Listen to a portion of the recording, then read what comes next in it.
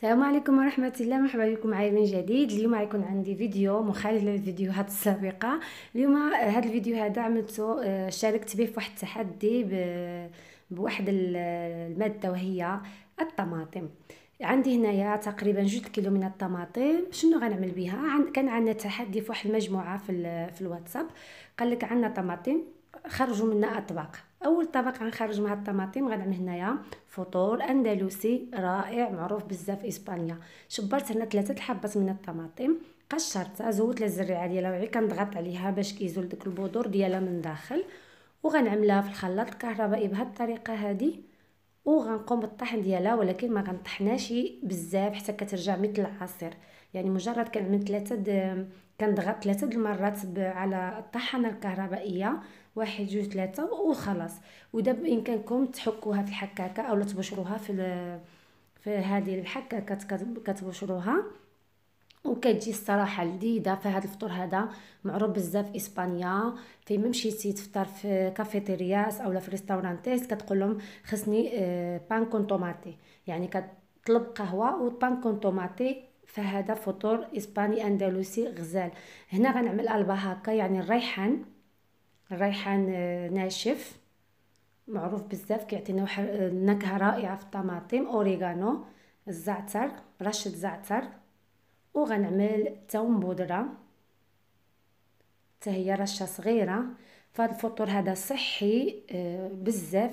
والصراحه حنا آه، معتمد عندي كنفطر به بزاف في المكان العمل ديالي. دائما كل صباح كنوجدوه وكنفطروا به. غنعمل رشة خفيفة من الملح وطبعا زيت الزيتون. ضروري زيت الزيتون. غنحركها مزيان وكنخليوها واحد عشر دقائق حتى كتطلق فيها ديك التتبيلة ديك التوابل اللي عملت. وكتجي لذيذة آه كندهنوها في الخبز طوست ولا أي خبز عندكم كتسخنوها في الفران ولا في الطوستادوره وهذا هو الشكل ديالها.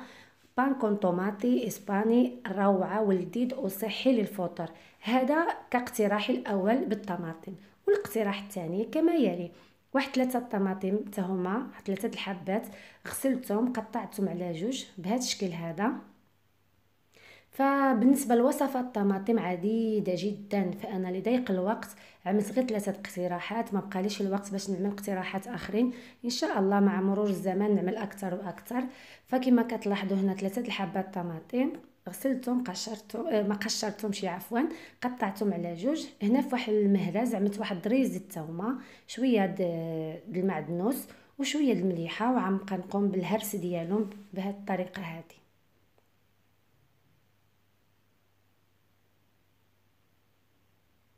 كنحاول نهرسهم اولا ندقهم مزيان في المهرز بهذا الشكل هذا حتى كنحصل على هذا القوام. غنضيف هنايا شوية زيت الزيتون ونوري لكم كيفاش غنعملوها الطماطم هذه غنرش عليها رشة الملح خفيفة بهذه الطريقة هذه ورشة فلفل أسود حتى هي خفيفة.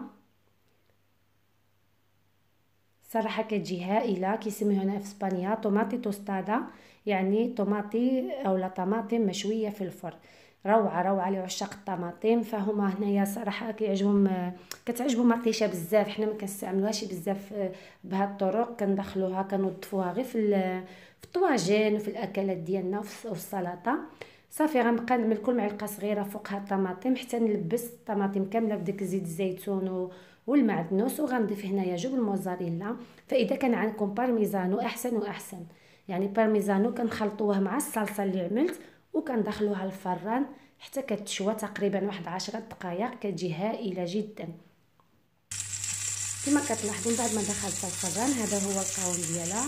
كتشوى لنا الطماطم وكتبقى واقفة وكنقدموها كمقبله ساخنة كتجي روعة روعة ولذيذه واقتراحي الثالث هو كذلك. فهذا هو الشكل النهائي الطماطم فكاين بزاف اقتراحات كاين طماطم محشية بالسلطة وكاين طماطم محشية بالكفتة.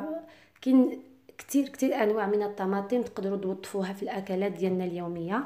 هذا كشكل الثاني اللي عملت لكم. كيجي لذيذ بزاف ورائع. كنتمنى نتوما إن شاء الله تجربوها. والاقتراح الثالث هو سلطة إيطالية. بالطماطم والجبن mozzarella fraîche يعني queso mozzarella fresco. حتى أه هي العملية جد سهلة. شبرت عاود واحد ثلاثة د الحبات من الطماطم قطعتها شرائح مدورة وغنعمل السلطة بحال في الصورة نتوما كتشوفوا. نفس السلطة غنعملها غنستف هنايا الشرائح د الطماطم وغنقطع الجبن ديالي دوائر. غنحتاج في في التتبيلة قلبه هكا يعني الريحان وشوية الفلفل الأسود أي الإبزار وشوية الملح. هاد السلطه رائعة جدا ومعروفة عالميا فهي سلطة إيطالية. يعني كيتناولوها في المطاعم الكبرى وسهلة التحضير وكتوجد بسرعة. فأنتم كتلاحظوا كنعمل هنايا واحد الشريحة طماطم وشريحة أخرى د الجبن موزاريلا. واذا كان عندكم الريحان فريش أحسن وأحسن فأنا ما كانش متوفر عندي. ملي كيكون عندكم الريحان فريش كتعملوا كل ورقة د الريحان في وسط واحد الشريحة باش كتعطي منظر مزيون. وحتى هو لذيذ يعني ألبا هكا لذيذة بزاف. غنعمل هنا فتوتة الملاح فتوتة الإبزار رشه خفيفه من الفلفل الأسود. وعن شوية د الريحان وزيت الزيتون وباقي بزاف اقتراحات. تقدروا تعملوا صلصة الطماطم الإيطالية اللي كنعملوها في البيتزا وفي المعجنات يعني في مكرونة وسباغيتي نقدروا نعملوا آه، طوماطي كتكون عامرة بالأنواع من السلطة أفوكادو. مهم إن شاء الله أنا قلت لكم هذاك التحدي الطماطم وصافي اللي شاركت به في واحد المسابقة. كنتمنى إن شاء الله حتى نتوما تعجبكم هاد الاقتراحات ديالي. ودابا غنعمل رشه خفيفه من زيت الزيتون وكنقدموا سلطة رائعة ومغذية وصحية في نفس الوقت.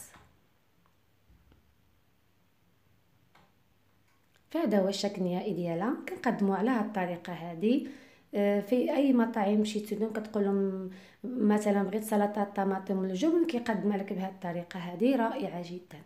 كنتمنى إن شاء الله يعجبكم الفيديو اليوم ويعجبكم التحدي ديالي مع الأخوات. إلى اللقاء في وصفات جديدة إن شاء الله. مع